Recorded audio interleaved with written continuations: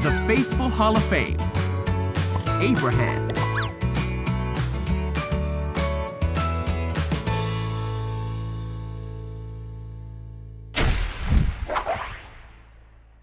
This is Abraham. Hey. When Abraham was younger, he was known as Abram. Oh. Abram lived in a place called Haran. One day, God told Abram, Leave your home with your family and go to a place that I will show you. Ah. So Abram traveled with his wife Sarai, their nephew Lot, and the rest of their family. The new land that they made home was crowded.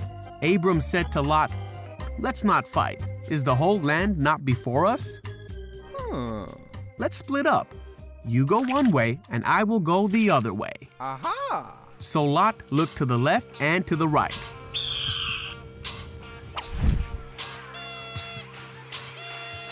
He saw that the land of Jordan was well taken care of, so Lot chose to go the way that looked better to him.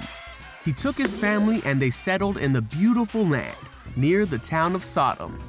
Abram took his family and they moved the other way. Then one day, God said to Abram, Look up, all the land you see will be blessed. I will give it to you and your family forever. Abram received the promise and the blessing because he was faithful.